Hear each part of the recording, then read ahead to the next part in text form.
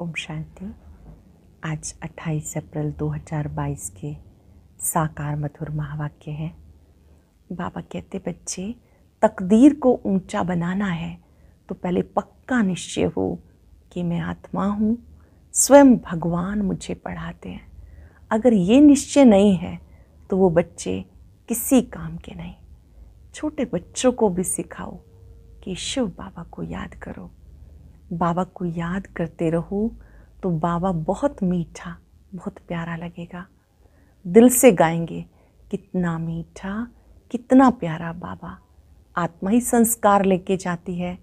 छोटे बच्चों को भी सिखाएँगे तो उनका बाबा से प्यार बढ़ता जाएगा। बाबा बाप के साथ धर्मराज भी है। कोई भी भूल हो जाती है तो बाबा को सच बताना है। कभी भी बाबा को छोड़ के नहीं जाना। अगर बाबा को छोड़ के चले जाते हैं तो बाबा कहते ये मरा। अर्थात बाबा का हाथ छोड़ देने से माया घसीट के ले जाती है। फिर नियम भी बहुत कड़े हैं। सच्चे बाबा के साथ सच्चे रहना। कुछ भी छिपाना नहीं। आज पूरा दिन जिस किसी को भी देखेंगे, उसको भी वरदान बांटेंगे। पासवी दौनर भाव। इस दुनिया में सबसे सुंदर सेफ़ प्लेस है बाबा का दिल तख्त, जहाँ पर माया के तूफ़ान, प्रकृति के तूफ़ान छू भी नहीं सकते। आज बाबा के दिल तख्त नशीन बनकर रहेंगे। अब सुनते हैं आज की मधुर मुरली, आदरणीय बड़े दीदी से। ओम शांति। Good morning. बाबा कहते, मीठे बच्चे, अब घर चलना है। इसलिए देह का भान छोड़ते जाओ। मैं इतना अच्छा हूँ, धनवान हूँ, ये सब छोड़ अपने को आत्मा समझो। प्रश्न है, किस निश्चय व धारणा के आधार पर तुम बच्चे अपनी बहुत ऊँची तकदीर बना सकते हो? किस निश्चय व धारणा के आधार पर तुम बच्चे अपनी बहुत ऊँची तकदीर बना सकते हो। उत्तर है, पहला निश्चय चाहिए कि हम आत्मा हैं। अभी हमें शरीर छोड़कर वापस घर जाना है। इसलिए इस दुनिया से दिल नहीं लगानी है। दूसरा, हमको पढ़ाने वाला, साथ ले जाने वाला एक शिव बाबा है। उनकी श्री मत पर हमें चलना है। श्री मत पर चल, अपना व अपने मित्र संबंधियों का कल्याण करना है। जो बच्चे श्री मत पर नहीं चलते, या जिन्हें पढ़ाने वाले बाप पर निश्चय नहीं, वह कोई काम के नहीं। वह चलते चलते गुम हो जाते हैं ऊंच तकदीर बना नहीं सकते। गीता है ओम नमो शिवाय, ओम शांति। बच्चे बैठे हो, जानते हो बाबा के सामने बैठे हैं। कोई सन्यासी, उदासी, मित्र संबंधियों के सामने नहीं बैठे। जानते हो कि हम बराबर अति मीठे बाप, जिसका हम जन्म जन्मांतर याद करते हैं, उनके सन्मुख बैठे हैं। हम भी उनके जीते जी बच्चे बने हैं। जानते हो, हम बराबर बीठे बाप, जिसका हम जन्म जन्मांतर याद करते हैं, उनके सन्मुख बैठे हैं। हम भी उनके जीते जी बच्चे बने हैं। सन्यासियों के तो फॉलोअर्स बनते हैं। रहते अपने घर में है ना? वह फॉलोअर्स कहलाते हैं। तुम बच्चों को फॉलो करना है बाप को। बुद्धि में ये याद रहे कि हम आत्मा हैं। जहाँ बाबा जाएँगे, वहाँ हम जाएँगे।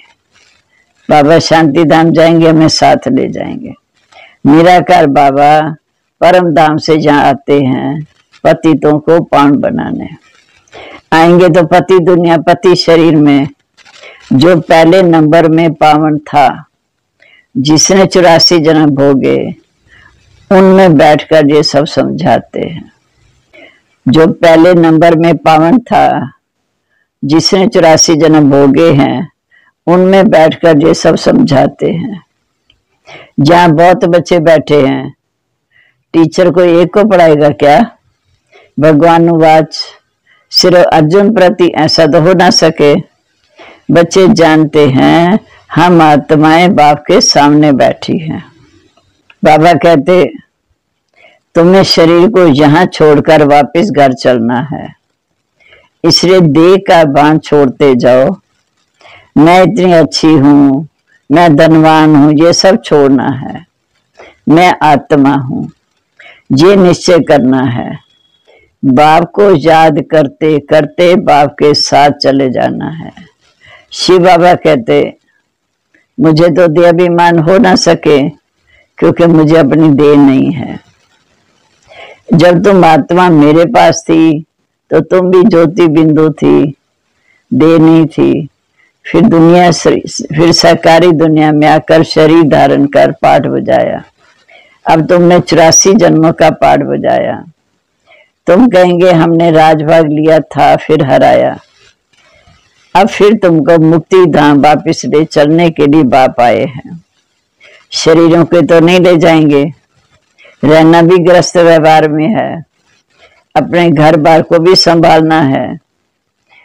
सन्यासी तो घर छोड़कर चले जाते, बाप बच्चों से छुड़ाते नहीं है। बाप कहते, तुम अपने बच्चों को याद दिलाओ, कि शिव बाबा को याद करो, समझाते रहो, उनका भी शिव बाबा से प्यार हो जाए। बाबा कहते, तुम अपने बच्चों को याद दिलाओ, कि शिव बाबा को याद करो, समझाते रहो उनको भी शिव बाबा से प्यार हो जाए। शिव बाबा कितना मीठा, कितना प्यारा है। सबको जहाँ बिठा देते तो बच्चों को कौन संभालेगा? ऐसे जहाँ बहुत बच्चे हैं, जो यहाँ से शरीर छोड़कर जाते हैं, फिर दूसरा जन्म लेकर आएँगे, बाप से वर्षा लेने, मिलेंगे भी। ये निश्चय होना चाहिए कि हम आत्मा हैं, हम शरीर छोड़कर वापस जाएँगे। जहाँ तो एक ही बाप है। बाप आया हम बच्चों को पावन बनाकर वापस ले जाने। सज्जू में सब धर्म भी नहीं थे। सज्जू में एक ही धर्म था, आदि सनातन देवी देवता धर्म। अब सज्जुग स्थापन हो रहा है। अभी बाबा ऋण का नेट हुआ है। तुम अभी रेजुनेट हो रहे हो। ऋण का नेशन एक के लिए कहेंगे। बहुत बच्चे लिखते हैं बाबा हमारे जीवन में अच्छा परिवर्तन आया है। कभी थोड़ा क्रोध आता है। बाबा कहते हैं बचे तो हो गई। बीमारी को फट से तो छूट नहीं जाती। सब गुण निकलते निकलते आखिर निर्गुण बन जाएँगे। अब गुण अब सर्वगुणवान बनना है। देवी देवता वाले गुण निकलते निकलते निर्गुण बन गए। अब सर्वगुण संपन्न बनना है। तुमको अथा धन मिलता है। जहाँ लोग वाश कितनी चोरी आदि करते हैं, तुम समझते हो, हमको शिव बाबा पढ़ाते हैं। पहले जब तक इसको ये निश्चय नहीं कि शिव बाबा में पढ़ाते हैं तो वो कोई काम के नहीं। बाबा ने समझाया, तुम्हारी आत्मा पतित बनी है, अभी पामन बन रही है। श्री मत पर ज़रूर चलना है। अपनी मत नहीं चलाने। मित्र संबंधियों का श्री मत से कल्याण करना है। बाबा शिक्षक बैठे हैं। बाबा को बताना चाहिए, बाबा चिट्ठी लिखनी है तो बाबा सिखाएँगे। बाबा चिट्ठी लिखना सिखाएँगे। ऐसी जो पढ़ने वाले के रोमांच खड़े हो जाएँगे, क्योंकि उनसे तोड़ निभाना है। नहीं तो चैरिटी बिगेस एट होम कैसे होगा? कई हैं, जो श्रीमत पर नहीं चलते तो गुम हो जाते हैं। जिनकी तकदीर में नहीं है तो पुरुषार्थ भी नहीं करते। ऐसे बहुत पुरुष आते हैं, जिनकी स्त्रियाँ नहीं आती। शिव बाबा कहते, उनको समझाओ कि तुमने प्रतिज्ञा की थी ना, कि मैं आपकी आज्ञा मानूँगी। तुम्हारा फ़र्ज़ है उसको प्यार से समझाना। शास्त्रों में ये सभी समय की बातें लिखी हुई हैं। अब बाबा ने आकर हमें बुद्धिवान बनाया है। तुम जानते हो कि शिव बाबा ने पाँच हज़ार वर्ष पहले भी ऐसा पाठ बजाया होगा, ऐसे समझाया होगा, और ये ब्रह्मा भी जान गए। तुम अभी पुरुषार्थ कर रहे हो। जो अच्छी रीति सर्विस करेंगे, वह फरिश्ता बन जाएँगे। अगर हिसाब किताब रह जाता है तो सजा खानी पड़ेगी। अब तुम सन्मुख बैठे हो। तुम जानते हो कि शिव बाबा से पाँच हज़ार वर्ष पहले भी ऐसा पाठ बजाया होगा, ऐसे समझाया होगा, ये ब्रह्मा भी जान गए हैं। तुम अभी पुरुषार्थ कर रहे हो। जो अच्छी रीति सर्विस करेंगे, वही फरिश्ता बन जाएँगे। अगर हिसाब किताब रह जाता है तो सजा खानी पड़ेगी। अब तुम सन्मुख बैठे हो। शिव बाबा तुमको सुनाते हैं। ऐसे मत समझो कि ब्रह्मा सुनाते हैं। शिव बाबा कहते, बच्चे, अब नाटक पूरा होने वाला है। तुम मेरे से योग लगाओ तो पवित्र बन जाएँगे। तुम जानते हो कि अब साजन हमें लेने आया है और तुमको पढ़ाते भी हैं। कितना वंडर है। तुम कितने सौभाग्यशाली हो जो एक ही श्रीमत पर चलना चाहिए। कहते हैं, तुम सबसे श्रेष्ठ श्रेष्ठ हो। मैं श्री श्री हूँ। तुमको श्री अर्थात श्रेष्ठ बनाता हूँ। मैं श्री श्री हूँ। तुमको श्री अर्थात श्रेष्ठ बनाता हूँ। तुम रावण पर विजय प्राप्त करते जाते हो। तुम्हारी आत्मा रूपी सुई पर कट लग गई है। अब चुंबक आकर साफ़ करते हैं। साफ़ होंगे तो साथ चलेंगे। कट उतारने के लिए बाप को याद करो। माताएँ श्री कृष्ण के मुख में माखन देखती हैं। वो है स्वर्ग रूपी माखन। दो बिल्ले आपस में लड़ते हैं। रूस और अमेरिका माखन श्री कृष्ण को मिलेगा। श्री कृष्ण अकेला थोड़ी राज्य करेगा। सूर्यवंशी, चंद्रवंशी घराना चलता है। उसके बाद फिर राजाओं का ग्रहण आ जाता द्वापर से। ये भी बहुत पुराने चलते रहते। पीछे प्रजा का प्रजा पर राज्य है। अब तुम जानते हो कि बाबा ने हमको पाठ बजाने के लिए भेजा था। हम परम धाम से सज्जू में आए थे पाठ बजाने। स्वर्ग में बहुत सुखी थे। इक्कीस जन्म का वर्षा भारत में गाया जाता।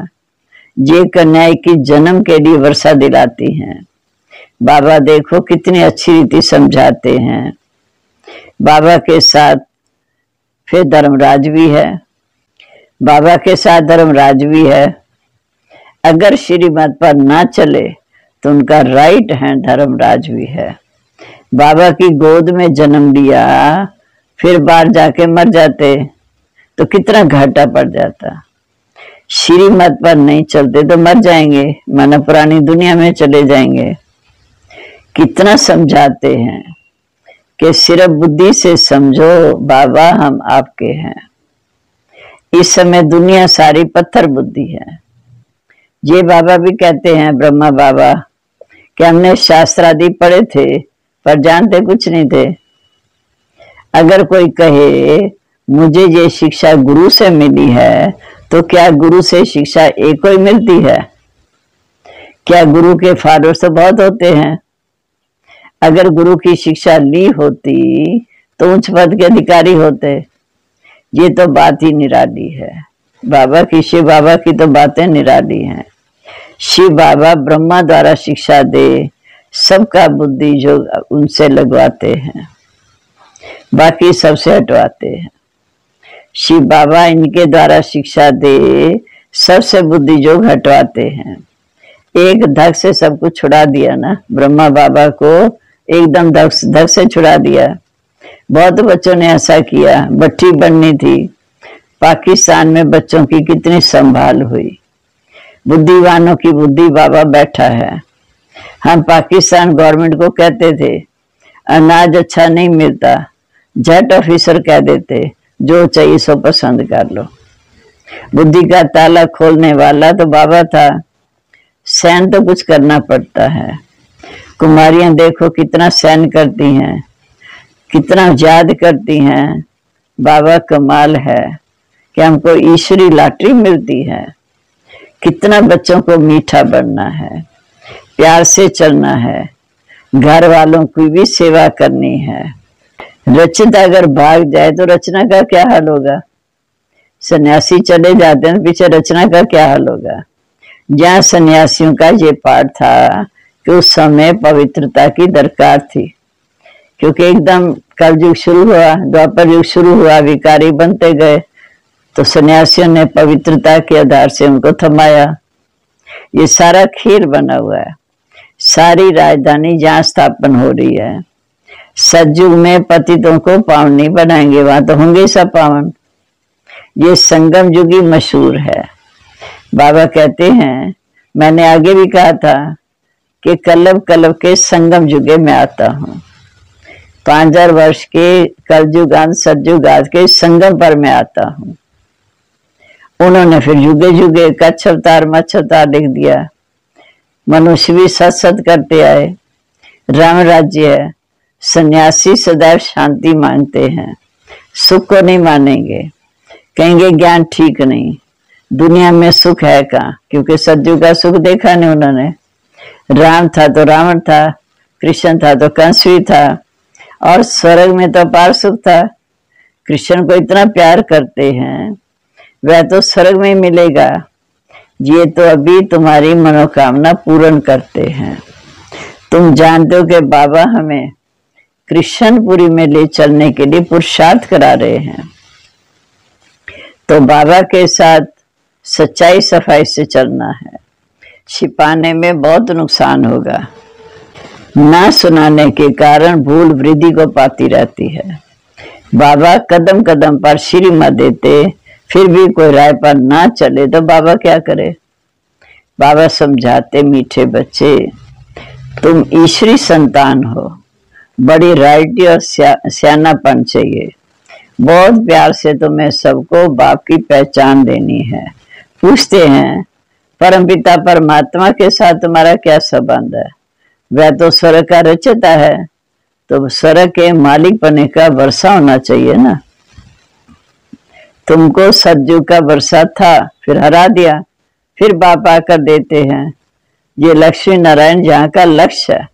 इस समय ऐसा जीवन बनाना है। बाप ज़रूर सज्जू का राज्य भाग देंगे। तुम बच्चों को सर्विस करनी चाहिए। सबको जिए दान देना है। इक्कीस जन्म के लिए। तुम बच्चों को सर्विस करनी चाहिए, सबको जिए दान देना इक्कीस जन्म के लिए। तुम ही महान पुण्यात्मा हो, तुम्हारे जैसी पुण्य आत्मा कोई हो ना सके। पुण्य की दुनिया में तुम चलने वाले हो, इसलिए तुम्हें बहुत बहुत मीठा बनना है। यह पति पावन बाप और दादा बच्चों को वैश्यालय से निकाल शिवालय में ले जाते हैं। इनको रौरव नरक भी कहते हैं। यहाँ तो दुख ही दुख है। बाबा आया दुख धाम से निकाल, सुख धाम में ले चलने के लिए। हम ऐसे परलौकिक माता पिता से सदा सुख का वर्षा लेने के लिए, मिलने के लिए आए हैं। ये बहुत खुशी की बात है। तुम्हारे को खुशी है कि हम शिव शिवालय स्थापन करने वाले भोलानाथ भंडारी बाबा के पास आए हैं। याद भी शिव को करना है, रथ को नहीं, ब्रह्मा को नहीं। अच्छा जी, मीठे मीठे सिके लदे बच्चों पर मात पिता बाप दादा का याद, प्यार, गुड मॉर्निंग, रूहानी बाप की, रूहानी बच्चों को नमस्ते। हम रूहानी बच्चों की, रूहानी बाप दादा को नमस्ते नमस्ते बाबा, गुड मॉर्निंग। शुक्रिया बाबा, शुक्रिया। कितनी ऊँची मंजिल पर ले जा रहे हो।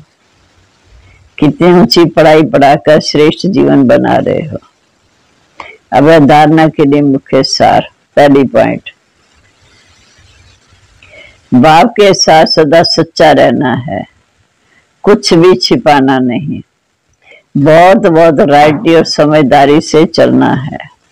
दूसरा इक्कीस जन्मों के लिए हरे को जिए दान देने की सेवा कर पुण्य आत्मा बनना है। आत्मा रूपी सुई पर जो कट चढ़ी हुई है, उसे याद की यात्रा में रह उतारना है।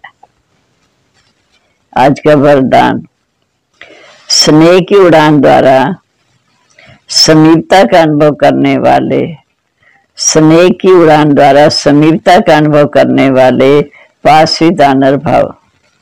स्नेह की शक्ति से सभी बच्चे आगे बढ़ रहे हैं। स्नेह की उड़ान तन से, मन से, दिल से बाप के समीप लाती है। ज्ञान योग धारणा में यथाशक्ति नंबर वार है। लेकिन स्नेह में हर एक नंबर वन है। स्नेह में सभी पास है। स्नेह का अर्थ है पास रहना, पास होना। हर परिस्थिति को सहज पास कर लेना। ऐसे पास रहने वाले ही पासित आनर बनते हैं। अब स्लोगन। माया और प्रकृति के तूफानों में सेफ़ रहना है। माया और प्रकृति के तूफानों से सेफ़ रहना है तो दिल तख्त नशीन बन जाओ। बाबा के दिल तख्त पर चढ़ जाओ। और अब सुनते हैं आज का अव्यक्त ज्ञान मोती ये एक बहुत संस्कारितापूर्ण वीडियो है। ज़रूर देखें कोई भी मिस ना करे।